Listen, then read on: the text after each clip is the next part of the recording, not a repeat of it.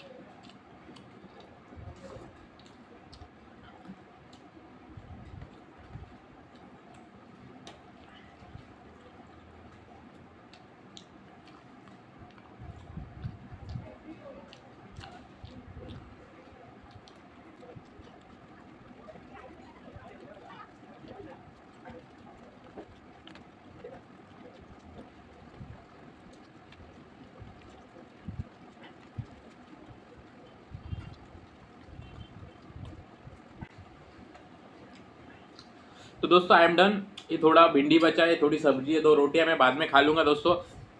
तो यही था अच्छी वीडियो में। अगर आप चैनल पर हैं दोस्तों प्लीज़ चैनल को चेकआउट कीजिए दोस्तों और मुझे सपोर्ट ज़रूर कीजिए और मुझे कमेंट्स में ज़रूर बताना दोस्तों कि मैं व्यूज़ बढ़ाने के लिए क्या करूँ। बिकॉज़ आप लोग ना मेरे वीडियो देखते भी नहीं और शेयर भी नहीं कर रहे हो।